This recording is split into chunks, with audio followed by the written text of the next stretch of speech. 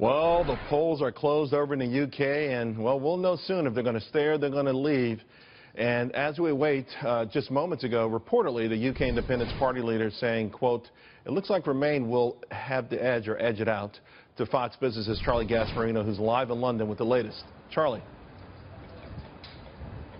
Uh, yeah, we are hearing some of the same stuff, and you know we're talking to some of the Leave people as well. Uh, Thomas Tice, uh, excuse me, Richard Tice, who's head of the Leave.eu, um, basically told us this. Uh, he said uh, this battle isn't over if we should if we should lose, and he's not saying he's going to definitely lose, but it looks the polls look like he the, you know it's, it's, in favor of Remain.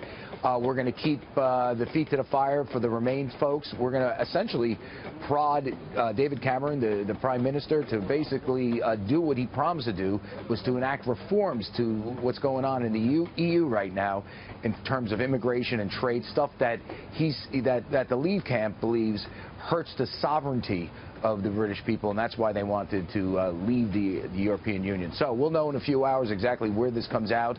Like I said, this this battle probably won't be over for for, for a number of years. Uh, David Cameron, it's, it's unclear if he's going to survive this, even if uh, the Remain forces win, uh, because remember he sided up with a lot of people in Labour, and a lot of and a lot of people in the Conservative side really believe that the UK sovereignty is being hijacked by the European Union, and they get less than what they put in.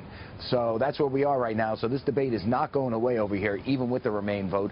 For temporarily it will, and I think the markets will react to that tomorrow. Listen, I think you might see a sell-off in the U.S. market just because to take some profits off the table, and because people are starting to react to real stuff as opposed to what's going on here.